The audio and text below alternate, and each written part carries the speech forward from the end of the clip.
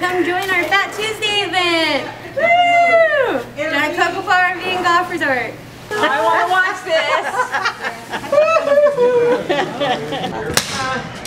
this. We've got a lot of exciting things going on.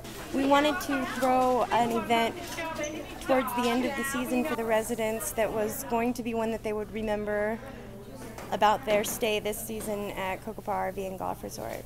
Anybody got scissors?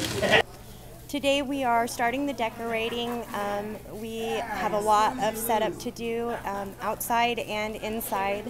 Um, there's a float that's still being built.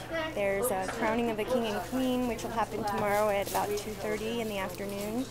Um, by tomorrow, we should it should look like New Orleans down here in Yuma, Arizona. I'm really grateful that it has all come together the way I had hoped it would. Um, these people are working really hard and everything is looking amazing and as I look around I, it just it really makes me happy that we could pull this off.